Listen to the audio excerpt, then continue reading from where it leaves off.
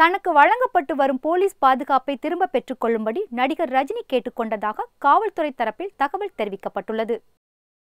துக்ளக் விழாவில் பெரியார் தொடர்பான சர்ச்சை பேச்சு விவகாரத்தில் ரஜினி வீட்டை முற்றுகையிட்டு போராட்டம் நடத்த முயற்சி நடைபெற்றது. இதன் காரணமாக போயஸ் தோட்டத்தில் உள்ள நடிகர் ரஜினி இல்லத்திற்கு காவல்துறை பாதுகாப்பு வழங்கி வருகிறது. ஆறு போலீசார் ஷிப்ட் முறையில் இருபத்தி நான்கு மணி நேரமும் ரஜினி வீட்டிற்கு காவல் காத்து வருகின்றனர். இதனிடையே தனக்கு வழங்கப்பட்டு வரும் போலீஸ் பாதுகாப்பை திரும்ப பெற்றுக்கொள்ளும்படி ரஜினிகாந்த் கேட்டுக்கொண்டதாக தெரிகிறது. இதையடுத்து தமிழக காவல்துறை நுண்ணறிவு பிரிவு துணை ஆணையர் திருநாவுக்கரசு ரஜினியை சென்னை போயஸ் கார்டனில் உள்ள அவரது இல்லத்தில் இன்று சந்தித்து பேசினார்.